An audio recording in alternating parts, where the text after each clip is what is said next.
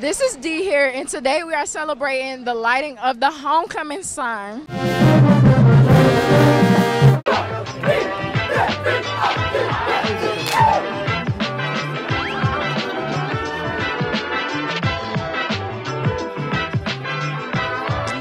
Always a good vibe.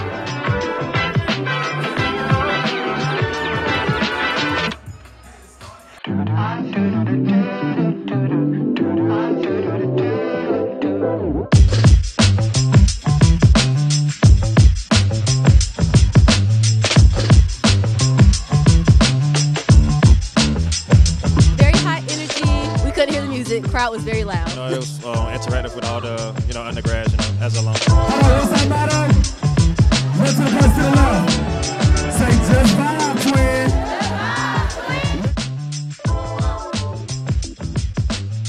Right here first, big round.